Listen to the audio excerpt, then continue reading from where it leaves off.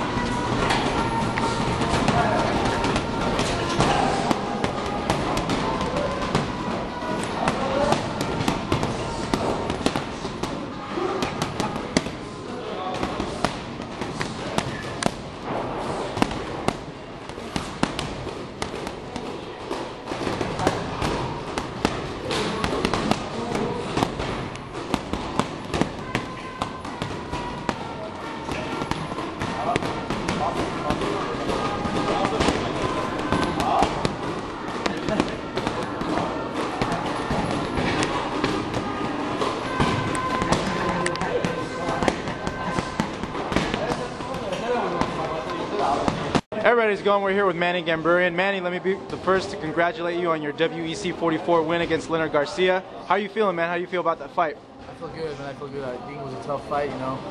I uh, I didn't expect he was gonna be that strong and you know more technical than you know, but he was he was pretty tough and he was like like I said, he was he was the punches that he thrown on me were was trying to close the fucking deal. Trust me. I mean, hard fight. You know, it was a good fight and a good, good weekly for me. Now, was it frustrating uh, dealing with his height and his reach advantage? Not exactly. It's just not not the height. It's just you know, it was pretty dangerous. You know, like I mean, I was looking at his fights and you know, he's dangerous every aspect of the game. But I know it was gonna be dangerous in the ground. But once I take him in the ground, like it was the whole game. But he was trying to you know stand up all the time, and that was the hard part. And, you know, he worked hard. Like I mean, I can tell you, pretty hard work, pretty hard. But I was ready. I was ready to go for a war. But I knew it was gonna be a tough fight, and we ended up in victory.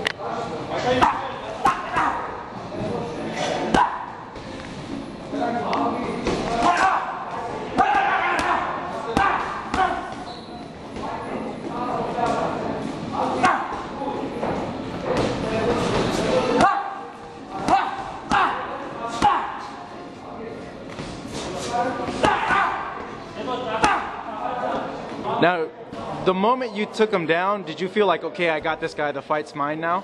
No, every time I took him down, he was trying to stand up. You know, he didn't want to stay there. I mean, obviously, he trained not to stay there with me, and you know, he was trying to more, you know, get into my head and stand up more. But that was a good game plan for him. But I, I was, I was going to stick with his game plan. I had my game plan with myself, and I listened to my coaches. Thank God, you know, I didn't fall for his jokes and anything like that. So now, how hard is uh, Leonard to hit, man? Man, he's like a motherfucking truck. Really, that much. He hits really hard like like I said, when Rashad Evans said, you know, he's like, you know, he he's one of the hardest hitting in uh, Greg Jackson's camp. I believe in that. I thought it was a joke for a sec, but I don't think it's a joke anymore. But he hits really hard. Yeah. So good luck whenever whoever fights him next. You know, he's gonna be probably more hungrier because you know coming off a lose, he's gonna go for a fucking knockout or TKO. Do you feel you hit harder than him? Uh, I think I can hit harder. Yeah, I, I hit pretty hard, but you know, but I think he hits harder. To be honest with you. Yeah. Yeah. So what's next, man? Are you gonna fight uh, Aldo or what? Whatever WEC got for me, man. I'm not gonna sit here and beg for them. You know, whatever they think comfortable. If I if they think I got Aldo, I'm hands down. I would love to fight Aldo, and I would like to get you know check. That's a big opportunity for me to get the belt. So anybody, anybody, I don't, I don't. Everybody, how's it going? I'm here with Karen Darabedyan. Karen, congratulations on your win at WEC 44 versus Razor Rob McCullough. Now that you have uh, a little bit of time to reflect, what do you think about your win? Yeah, I'm just real happy, man. It's my first fight in WEC. Got the win. I went into the fight with two cuts above both my eyes, one on this eye and one on this one. And I mean, I got I got the first cut about a month. No, I, the day I found about the fight, I got the first cut. And two weeks left to the fight, I got the other cut. And I just went in there real, I mean, scared about the cuts because I mean, any of them opening up would probably end up stopping the fight. So I mean, for me to go in there with these two cuts and facing the former champ, first time in the WEC. Just to get the win, I mean, it was a really big thing. Uh, I mean, I'm just really happy, man. I can't complain. What?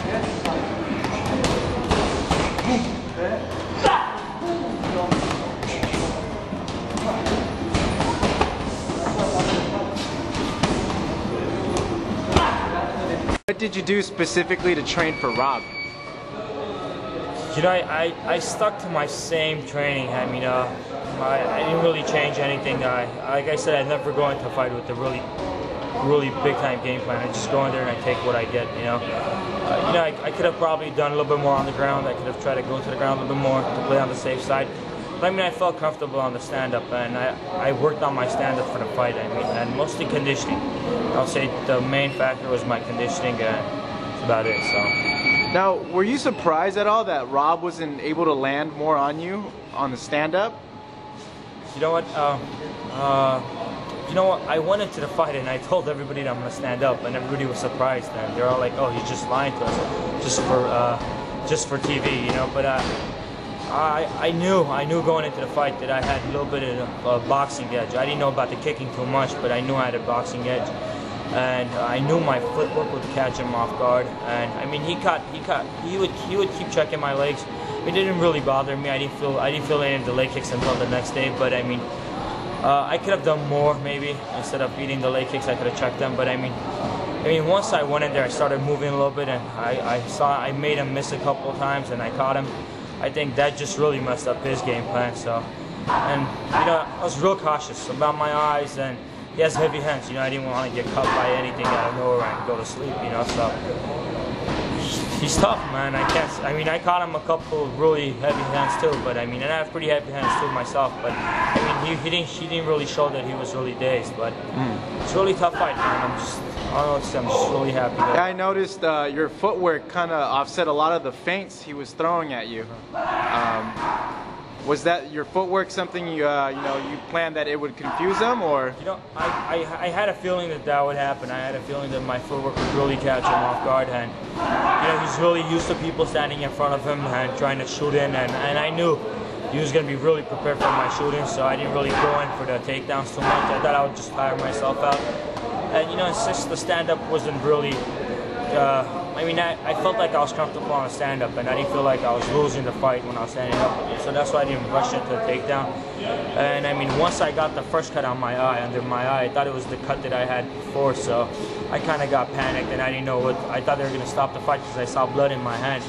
And so that's why I went in for the first takedown. And, uh, over there, I, I had a pretty good ground and pound going, and out of nowhere, I went for a leg lock and I just messed up my whole thing, and he got right back up. And it was a really good learning experience, man. And I needed a three five minute round fight just to know that my stamina is up to date. So now, uh, with this win, what's next for you, man? I don't know, man. Uh, whatever whatever the WEC tells me I have to do, I, I hope I hope they can try to build me up a little bit instead of really throwing me to the wolves. I mean, I took this fight on like 29 days notice, and and first fight in WEC having to fight the former champ, so it wasn't like they gave me an easy fight, and I would hope that you know they would at least try to build me up a couple fights before they really throw me into anything really big. But I mean, as long as I have a month, two months notice, and I have enough time to prepare, I think I'll be fine with just about anybody at 155. I mean, you know, I just, I just really want to. I mean, I think I need time before I step into the big guys, but whatever the WEC throws at me, man, I, I'm willing to take it. So. Cool. Well, congratulations. Thanks for uh, talking to us, man. Thank you, bro. Thank you.